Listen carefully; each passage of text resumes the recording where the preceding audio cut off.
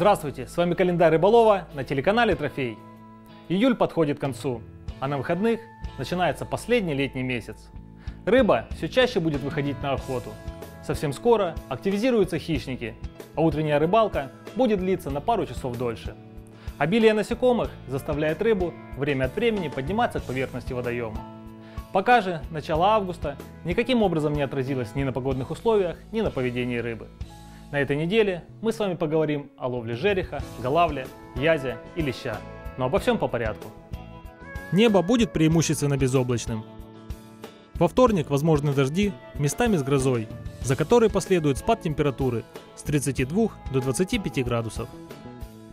Ночью температура также понизится с 24 до 16 градусов. Ветер ожидается легкий и переменчивый, преимущественно северный.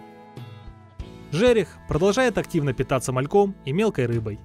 Найти жирующего жереха можно на мелководье, на местах, называемых котлами. Рыба будет питаться большими стаями, которые можно обнаружить по всплескам на воде. Его тактика резкой атаки малька хвостом создает волнение на поверхности.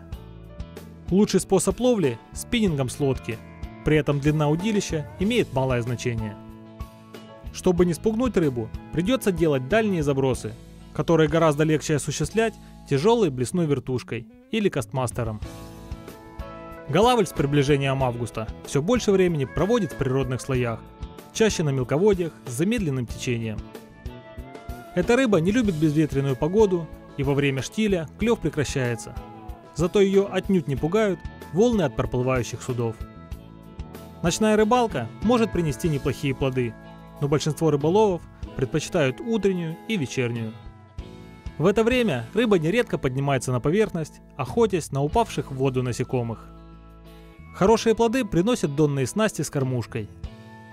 В качестве прикормки используют хлебный мякиш, панировочные сухари, сыр и мелко рубленные личинки насекомых. Также возможна ловля на спиннинг с берега или с лодки на небольшие медные блесна. Приманка в этом случае ведется в средних слоях водоема.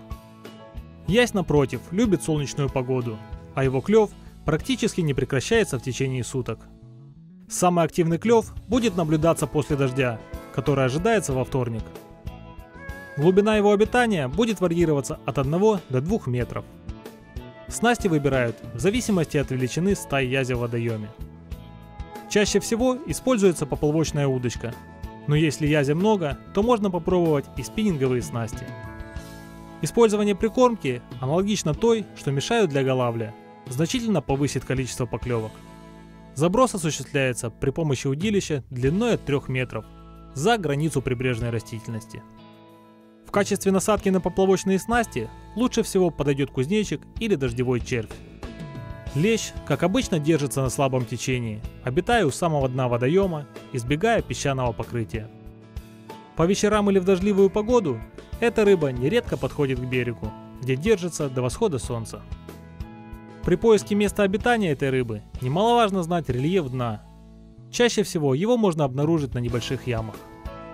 Большинство рыбаков используют фидерные снасти тестом до 90 грамм и удилищем длиной около 4 метров. Длина поводка до 1 метра, а диаметр его сечения 0,17 мм. В качестве прикормки используют пшеничную и овсяную крупы, кукурузы, панировочные сухари и семена подсолнуха. На крючок насаживается червь, мотыль или распаренный горох. Подведем итог. Рыбалка заметно активизируется после дождя, который ожидается в начале недели. Жереха ловим на так называемых котлах спиннинговым удилищем на блесна покрупнее. Голавля лучше всего ловить донкой в утренние и вечерние часы. В качестве насадки используем лягушку или кузнечика. Ясь будет отлично ловиться на поплавок, на червя или кузнечика а особи покрупнее ловим спиннингом на небольшие воблеры или блесна. Леща в утренние часы ловим фидером, а вечерние на поплавок. В качестве приманки используем горох, опарыша или червя. Я желаю вам хорошо провести время на рыбалке и до встречи через неделю.